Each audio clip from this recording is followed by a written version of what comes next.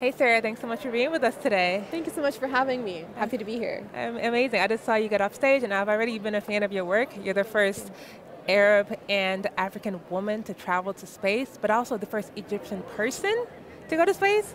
That's huge. How does that feel? How does that title feel? It's surreal, to be honest. It's a responsibility that I hold very seriously.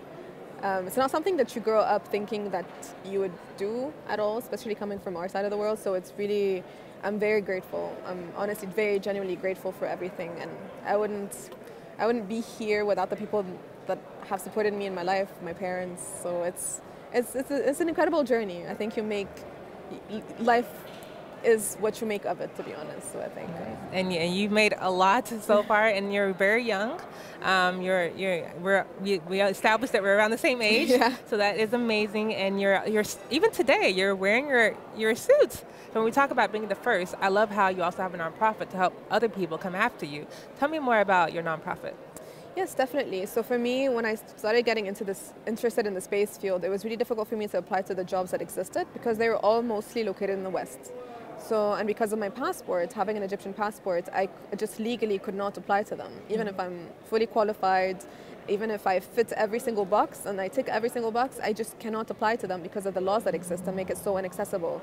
So um, after doing a lot of digging, trying to do a lot of research independently, reaching out to people from NASA, from here, from there, um, we, re we, really realized that this is actually a problem that so many people are facing around the world. Mm -hmm. And I started talking to young graduates, uh, early careers, and speaking to people from different parts of the world, and realized that this is actually a huge issue that people are facing. Mm -hmm. Not only that, a lot of companies around the US and Europe are facing a lot of trouble with hiring people because they have a, there's a lot more op job openings mm -hmm. than talented people or qualified people to fill these positions. So what I did then is I founded Deep Space Initiative, which combats exactly that. It combats this inaccessibility in the space field. And it does that by providing opportunities in research, education, and at the same time, in parallel, working on the legal side of things. So we're working on the policy and trying to educate Congress about why we need to be changing some of these laws, how they influence international collaboration, and like just generally just the trajectory of the future of humanity because without this international collaboration, we can't just be reinventing the wheel every time we're facing a problem. We need to be working with other entities around the world and continuing on, you know, their work to be able to solve these bigger problems. Otherwise, we'll just not get to anything. Yeah. So um, that's why DSI, I founded DSI. We've been partnering with so many people, incredible people. We have advisors from all over the world donating their time to support our teams. We have around 303 members right now. Uh, we have 47 projects, 47 wow. research projects. Nice from with teams that range from 60 different nationalities. So we've been we've been very fortunate to have an incredible team and we're currently fundraising so really looking for support to be able to provide more support for our researchers nice. and educational material as well. Nice. So, so not only were you the first african to travel to space now you're actually encouraging and finding opportunities for other people to follow you. I love that. But let's take it a step back. Like what even inspired you to go to space? Like what's what was the mission behind it? Like Tell me a little bit more about the beginnings. So for me, it was a little bit different because usually people tell you that they dreamt about being an astronaut since they were kids. But for me, it wasn't really that because it didn't really exist where I come from. Um, we didn't watch rocket launches on TV. We didn't have astronauts from our side of the world. They were all black, uh, white men, you know. Mm-hmm. So um, it was so different that you know you couldn't see yourself in that, and you were always told that it's not for you. And when, when, you're, when you're growing up in an environment like that, it's so difficult to dream about it because it's just not a reality, mm-hmm. right? So no examples, but now you are that example.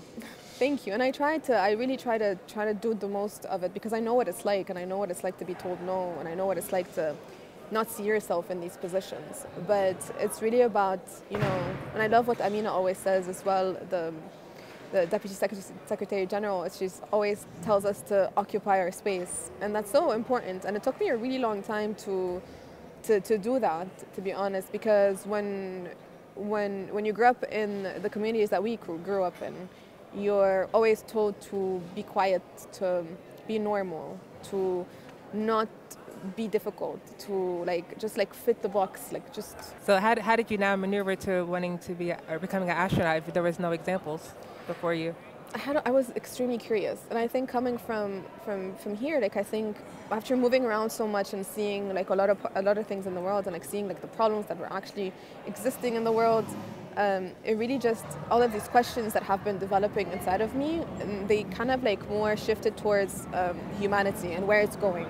And for me, my mission was to try to help humanity become multiplanetary in order for us to have these answers. Mm. It's just, just, you know, when you go through an existential crisis, you have a lot of questions about the world, about our origins. Mm-hmm. What is the meaning of everything, right? right? like, answers. And for me, that just pushed me to needing to, for humanity to become multiplanetary so that we have the technology and the capabilities that have these answers. Yeah. So that kind of just like drove this huge obsession for me. So it wasn't about, you know, the the the side where like it was a dream growing up. It's, it's, it just Your unfortunately curiosity. wasn't that. It was just it developed very naturally throughout my career after studying engineering and my masters and like working in the fields. It just kind of like made perfect sense for it to be you know be you know just that was the next specific. step. Yeah, right? exactly. So, have, so hopefully you have an answer to my question since you were curious. I'm also curious.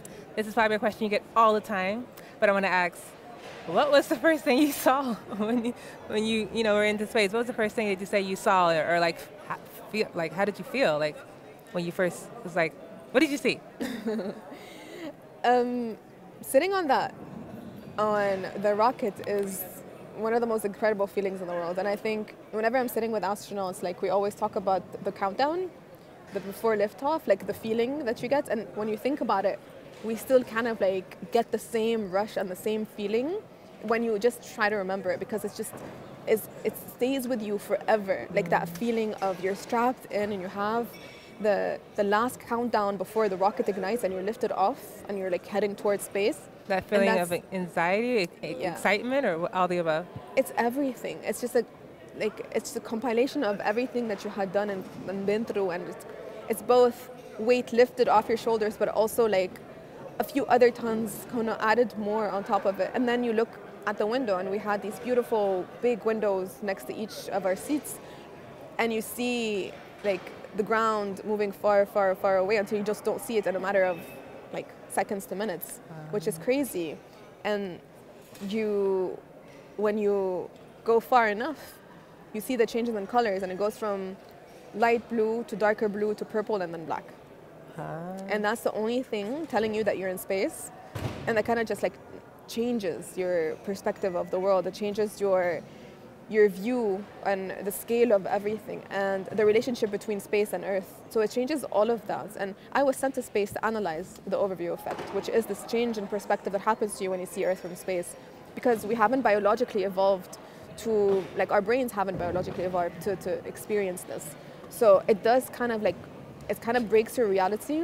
And when you come back, you have to put it back together and for me it was hugely impactful in ways that more ways than I thought wow. were possible.